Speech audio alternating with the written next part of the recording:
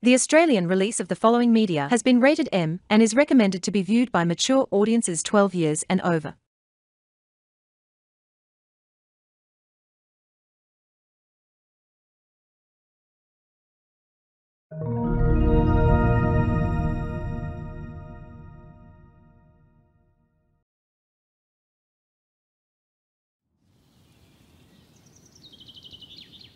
In your places, everyone.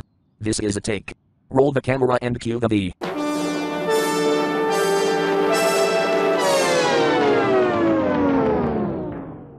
Scotty, You called me Mike? I didn't call you Mike. I am Mike. LMFAO Very funny. I therefore disagree with your opinion. Where are the captions? Forgot it. Sorry, mate.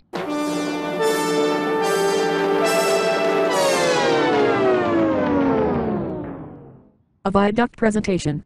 Guessing they'll probably be showing rides off an amusement park. Come to think of it, I'd solemnly remember the time Sam took me on a boat ride that there. Sam then apparently fell in as we splashes on one of the dikes. Oh my god. Don't you just worry about it, Mike. I've jumped in and saved Sam. Oh, I just missed him. I just wish his suspension from this studio would end soon. Yeah, I'm with you, but it's Dave's call. He's therefore trying to get legal permission to have Sam's community service transferred to his older media but was found himself fighting with Alchemist Muffin's objections. Methinks I goofed, You say that every time before we go on and have a huge ass lunch at random diner. but I'll try again.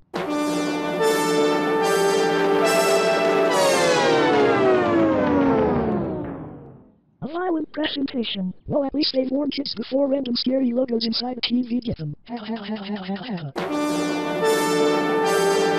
ha. A by communist presentation. So this was how the scary logos had originated, as the Cold War propaganda. Pah, Scotty, there's one apparent thing you forgot. What detail, comrade? Don't you comrade me. The Cold Wars ended in the early 1990s. Eat worse than die. Com me.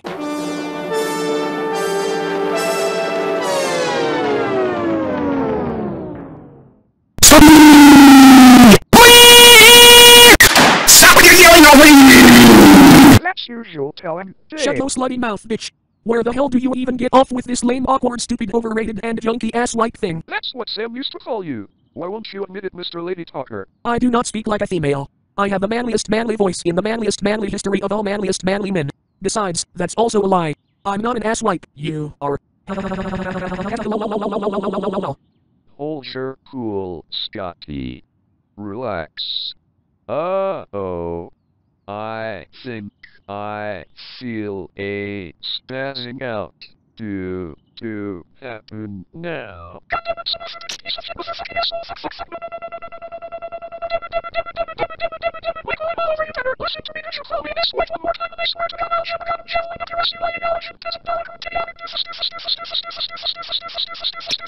Kaboom.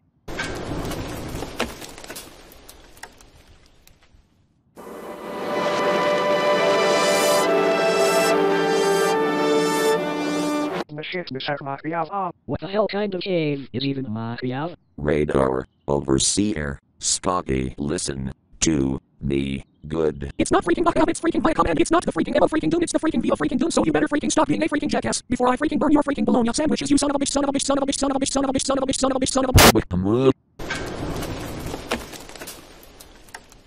Judas Priest. Two classic 11-year-old ancient jokes in rapid-fire succession. Looks like this is perfect timing to thank one of Dave's sponsors, National Tantrum Control Task Force. The National Tantrum Control Task Force. The National Tantrum Control Task Force is an not so new but new at the time of the original's release organization to which studio CEO David N. Madsen had started up to help people with a strong addiction to the same tantrums you'd used to hear. I get it now.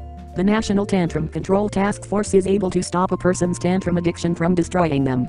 If you'd like to help your loved one, or someone who's had a tantrum addiction, please therefore write a message to this address. The National Tantrum Control Task Force care of Dave Madsen Entertainment Incorporated, 76 Ceylon Avenue, New Waffle City, P.O. Box 4083. Thank God I wasn't assigned to read the text on screen. And now back to your regularly scheduled vi- thing. You can be sure if it's Westinghouse.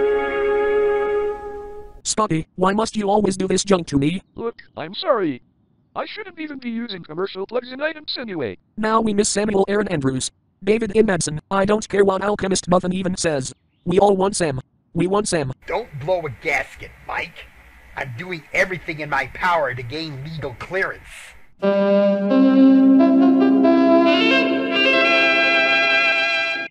Now what's with that S from hell on a Viacom ident now, huh?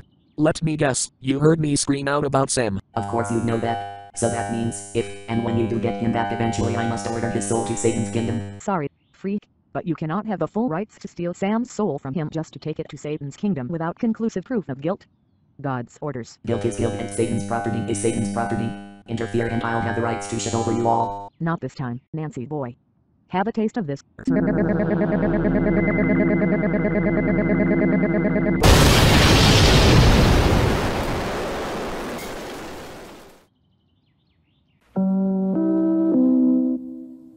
NBC snake in a Viacom ID. Next, they'll eventually say brought to you in. I know you plan to break the fourth wall by just throwing Mel Brandt here to make him yell something that is brought to you in living color. Brought to you in living color.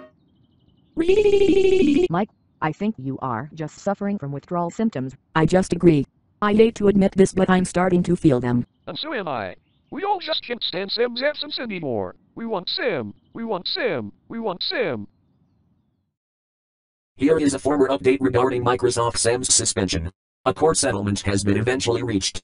Microsoft Sam's community service has officially been transferred to the custody of Dave Madsen Entertainment Inc. and the suspension was agreed to be officially lifted. Also, David N. Madsen had won a restraining order against Alchemist Muffin preventing him from seeking termination of Dave's former account, but unfortunately closed down, as Windows XP's support was ending. Although Alchemist Muffin is reportedly trying to seek an appeal of the restraining order, the 33rd episode of Looney Tunes parodies Elecarltonfurbish will be featuring Microsoft Sam. Stay tuned for further updates. Phew, I'm done. Now I can finally take a nap.